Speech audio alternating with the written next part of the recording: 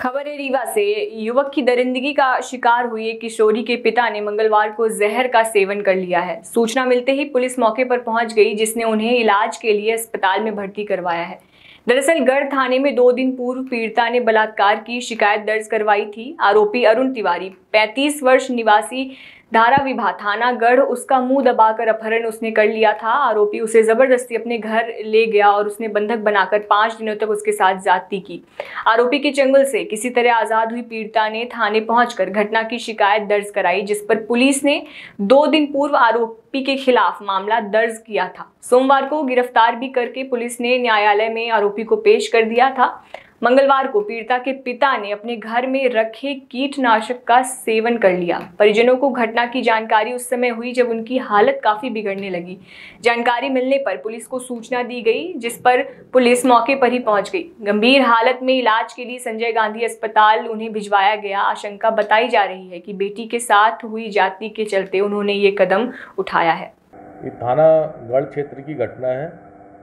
इसमें अरुण तिवारी आरोपी ने अपने समीप में रहने वाली एक नाबालिग बच्ची को अपने साथ रख करके उसके साथ दुष्कर्म किया और लड़की जब छूटी तो उसने अपने पिता को जानकारी दी और पिता ने तत्काल जो है थाना ला करके उसकी रिपोर्ट किया। रिपोर्ट पर तुरंत ही मुकदमा कायम किया गया और दो घंटे के अंदर ही आरोपी को अभिरक्षा में लेकर के और उससे आवश्यक जो साक्ष्य संग्रहण की कार्रवाई की गई और उसके बाद उसको न्यायालय पेश किया गया। वर्तमान में आरोपी जेल में है।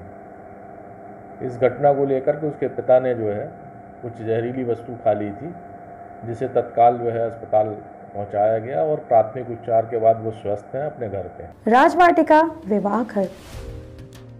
सर्व सुविधा युक्त प्राकृतिक सुंदरता से ओत प्रोत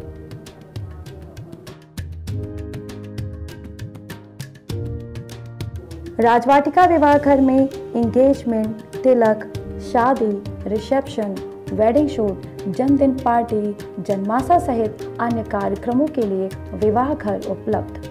अपने मांगलिक कार्यक्रमों को यादगार बनाएँ शहर के मध्य वातानुकूलित राजवाटिका मैरिज गार्डन के साथ। हमारा पता है, Rajvatika marriage garden national highway जूला मोड़ भुंडहा रीवा अधिक जानकारी के लिए संपर्क करें nine eight two seven zero zero four two five one.